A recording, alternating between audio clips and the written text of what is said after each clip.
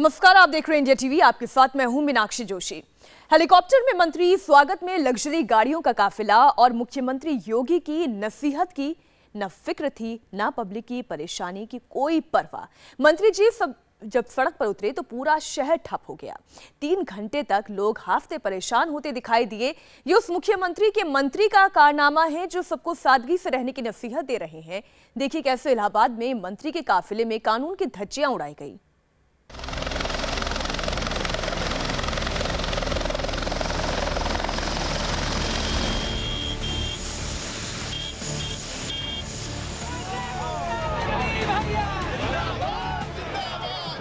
मंत्री बने, अभी तेरह दिन ही बीते हैं।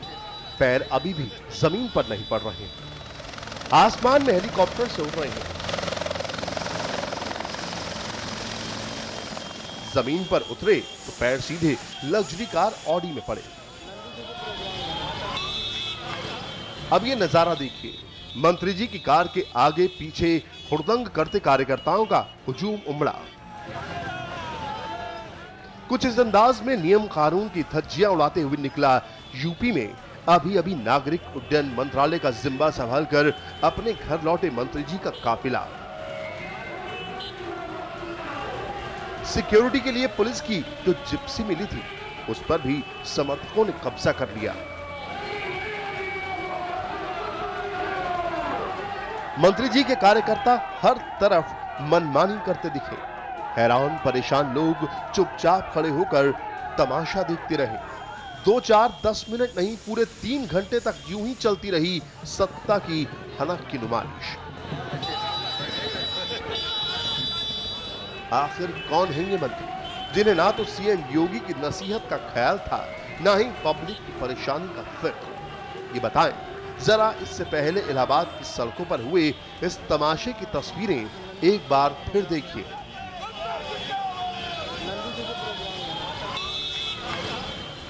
सबसे पहले पुलिस लाइन में मंत्री जी का हेलीकॉप्टर उतरा। सबसे ज़्यादा चौंकाने वाली बात थी कि ये चौपर पुलिस लाइन से सिर्फ़ छह किलोमीटर दूर बमरौली एयरपोर्ट से उड़कर आया था। यानी छह किलोमीटर का सफ़र भी सड़क के रास्ते पूरा करना मंत्री जी को मंजूर नहीं था। पुलिस लाइन के मैदान में पहले से ही लग्जरी ऑडी खड़ी थी। साथ में सरकारी फॉर्च्यूनर कार भी थी, लेकिन सरकारी कार को छोड़कर मंत्री जी सवार हो गए खुली ऑडी कार में आगे के तमाशे की तस्वीर देखने से पहले जरा मंत्री जी के बारे में जान भी लीजिए। नाम नंद गोपाल गुप्ता नंदी। मंत्रालय, स्टाम्प और नागरिक उड्डयन। कैबिनेट मंत्री का पद, साथ में नागरिक उड्डयन विभाग की ज़िम्मेदारी। मंत्री बनने के बाद पहली बार अपने शहर आ रहे थे। ऐसे में सड़क के रास्ते इलाके में आना रास नहीं आया। अपना रसूख दिखाने के लिए मंत्री जी सवार हो गए उड़न खटोले में। यहाँ तक तो फिर भी ठीक था। जब काफिला शहर में दाखिल हुआ, तब तो हद हो गई। नंदी के स्वागत में पुराने इलाहाबाद में 200 से ज़्यादा लाउड स्पीकर लगाए गए थे। वो भी ऐसे वक्त में जब बच्चों का बोर्ड एग्ज़ाम चल रहा है। पूरा शहर मंत्री जी के जिंदाबाद के नारों से गूंज रहा था।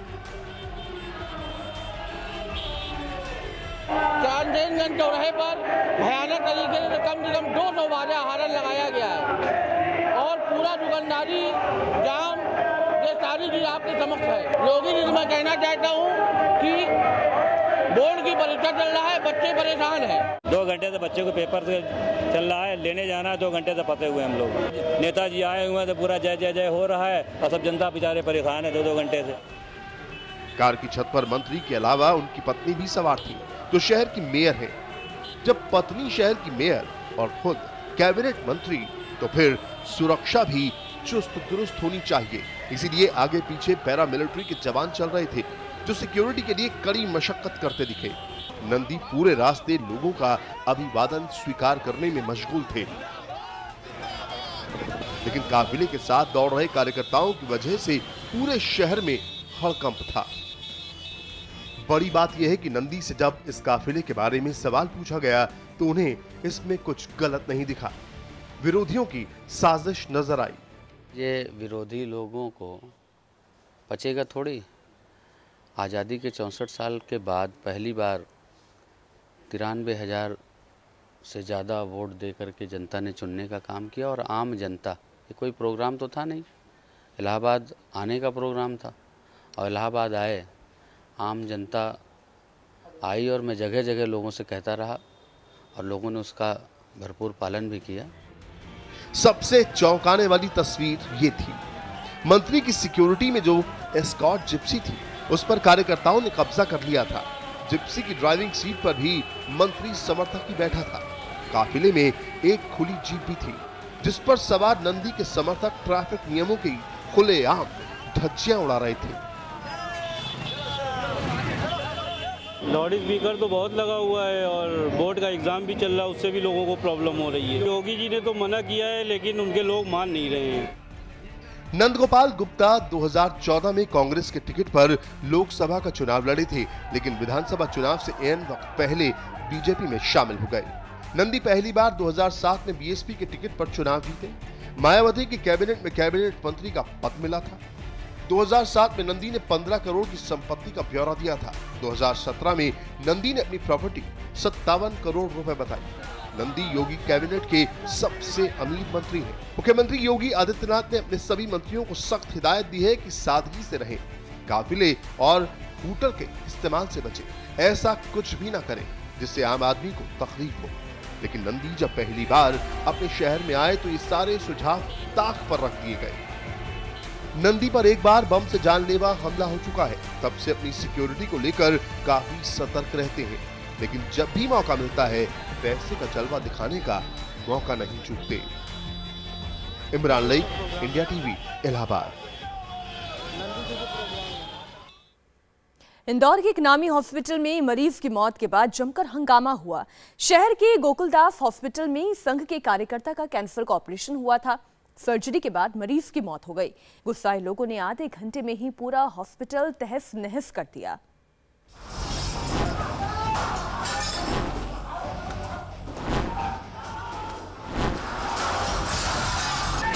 कोई शीशे तोड़ रहा है। कोई फर्नीचर पर अपना गुस्सा उतार रहा है। किसी ने चैम्बर तोड़ा किसी ने मरीजों का स्ट्रेचर ज़मीन पर पटक दिया।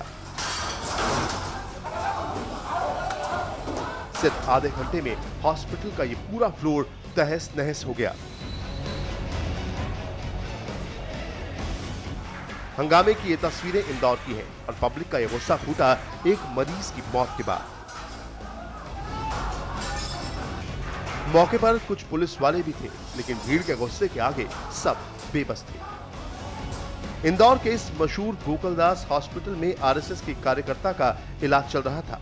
डॉक्टरों ने मुँह के कैंसर का ऑपरेशन किया, लेकिन सर्जरी के बाद हिम्मत सिंह राठौर नाम के इस मरीज़ की तबीयत खराब होने लगी। शुक्रवार शाम हालत बिगड़ते ही डॉक्टरों ने हिम्मत सिंह राठौर को आईसीयू में शिफ्ट कर दिया, लेकिन 10 मिनट के भीतर ही आरएसएस के इस कार्यकर्ता की मौत हो गई।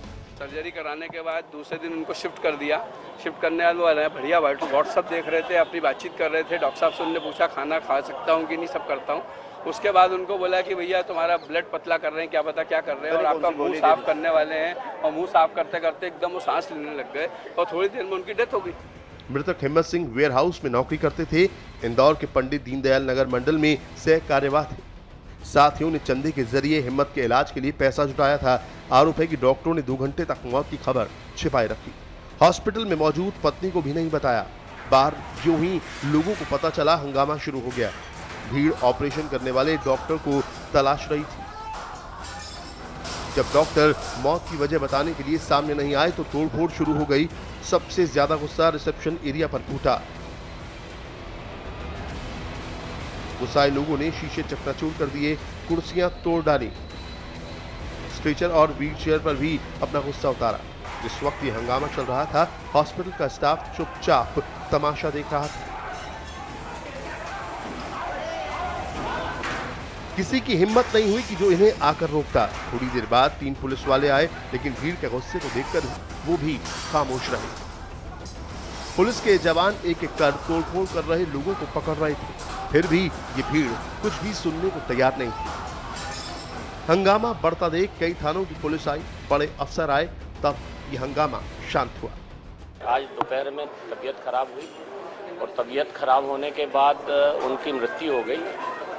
मृत्यु के उपरांत यहाँ पे जो लोग आए उन आक्रोशित थे और उनके द्वारा ही हॉस्पिटल में ये कृत्य किया गया है। फ़िलहाल आरएसएस कार्यकर्ता की मौत की वजह की जाँच की जा रही है। पुलिस ये भी पड़ताल कर रही है, कहीं डॉक्टरों की लापरवाही की वजह से तो आरएसएस कार्यकर्ता की जान नहीं गई। Sachin Sharma, India TV, Indore.